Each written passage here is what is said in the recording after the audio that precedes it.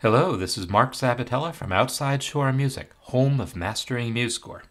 In this week's tip, I want to show you how to use some of the new dynamics features in MuseScore Studio 4.5. I mean, MuseScore has always supported dynamics, but there's some new features designed to make them easier to enter and manipulate. So one of them is there is now a shortcut, Control D, that allows you to easily enter a dynamic into your score. Just select a note, press Control D, and you get a box where you can just type the dynamic, like say MF, or you can actually uh, select it from the pop-up here just by clicking that pop-up. And now you'll also see that there's handles to either side. If I take that handle on the right and drag it, you'll see that I can extend a hairpin from it. Uh, and it defaults to being a crescendo here.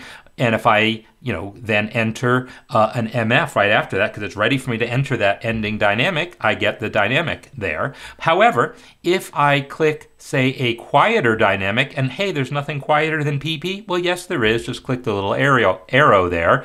If I change it to PPP, the hairpin turns itself into a diminuendo. This idea that you can change dynamics doesn't only apply when you're doing this. You can take any dynamic, like one you've already entered, like this MF here, click it, and the pop-up appears, and you can change it to MP just as easily.